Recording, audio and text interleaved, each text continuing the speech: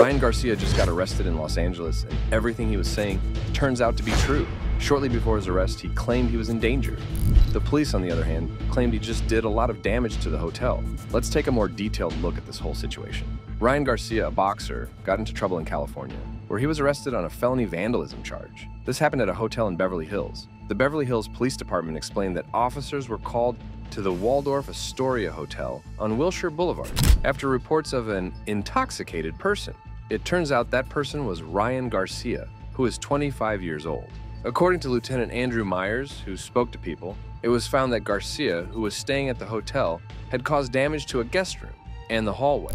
Following statements from the hotel management, they asked for Garcia to be arrested for the property damage. Subsequently, he was taken into custody and then brought to a local hospital for medical attention. A video obtained by TMZ allegedly shows Ryan Garcia, the 2021 WBC interim lightweight champion, being led out of a hotel in handcuffs, wearing a bike helmet that covered his face.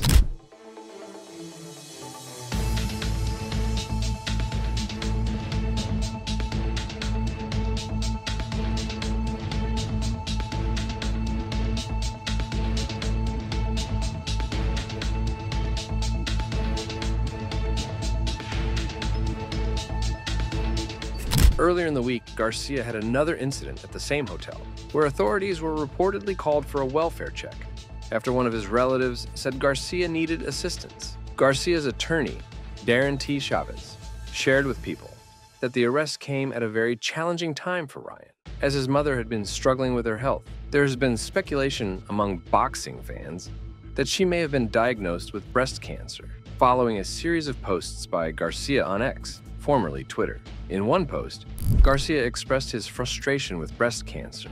Garcia's attorney emphasized the importance of respecting Ryan's privacy during this difficult period. Ryan has been open about his struggles with mental health over the years, and he is currently dealing with a significant emotional burden. The support and understanding from fans and the public are crucial as he navigates these personal challenges. Ryan Garcia's attorney stated that they are working hard to provide him with the necessary resources. The team is dedicated to ensuring he receives the appropriate help and care for his immediate and long term well being. They requested continued support and compassion as Ryan focuses on his family and health during this time. The hotel, known for its expensive rooms and suites, confirmed the incident and stated that it is cooperating fully with local authorities. The Waldorf Astoria Beverly Hills emphasize that the well being, safety, and security of their guests are of utmost importance. They continue to ensure that all practices and standards adhere to strict safety and security measures. The news of Ryan Garcia's arrest comes during a turbulent period in his professional career. Recently, he secured a non title majority decision win against super lightweight champion Devin Haney. However, Garcia tested positive for a banned substance on April 20th, according to USA Today. As a result, he now faces a potential suspension by the New York State Athletic Commission. New details have emerged about the arrest of champion boxer Ryan Garcia, who was hospitalized after the incident. In his posts, Garcia expressed his concern and mentioned being at a strange hospital, drawing a comparison to pop star Britney Spears, who also faced challenges with her mental health.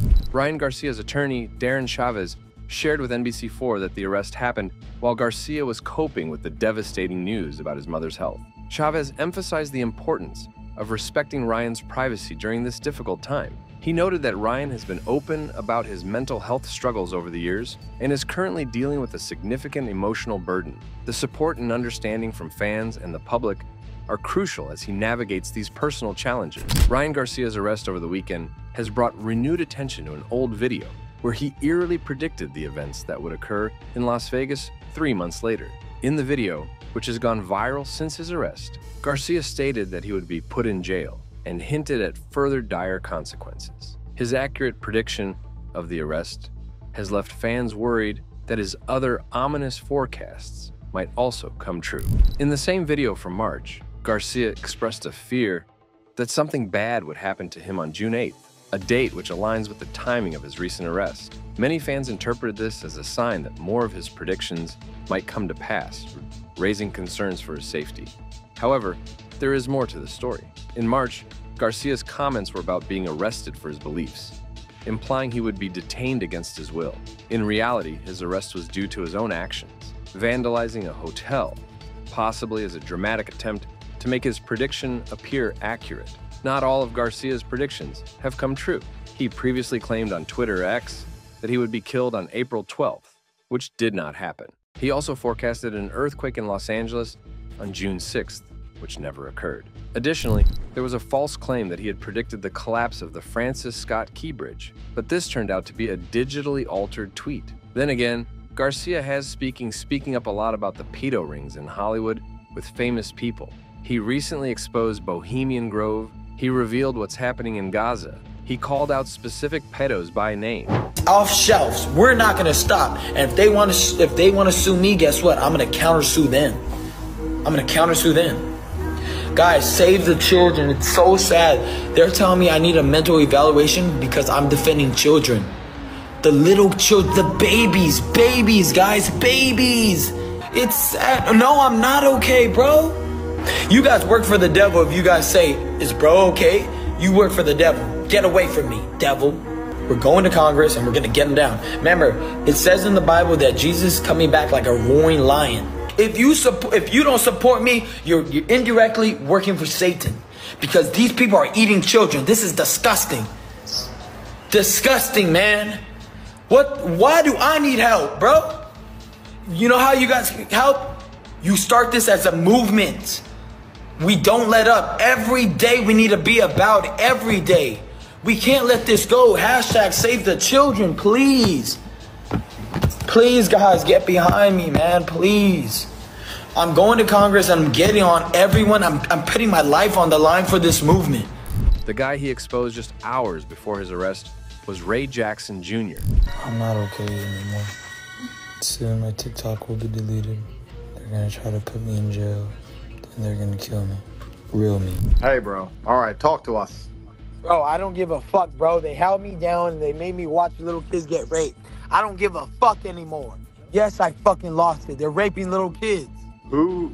You know the higher elites, bro. You already know who they are, bro. You have proof of this on your phone? Yes, of course I do. A similar incident occurred in 2016 involving Kanye West. Back then, Kanye was hospitalized in Los Angeles and placed under psychiatric care shortly after he publicly endorsed Donald Trump for president.